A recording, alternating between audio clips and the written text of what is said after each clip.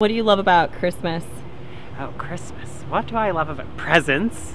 Uh, me and Travis both love presents, um, but we also just love that it's this it's this time where you get to really revel in in like both being with other people and spending time with family and friends, but also the kind of kitschy decorations and this kind of like really tacky but like societally appropriate uh, way of celebrating where everyone's like wearing these crazy sweaters and and putting tinsel everywhere because i mean you can't get better than that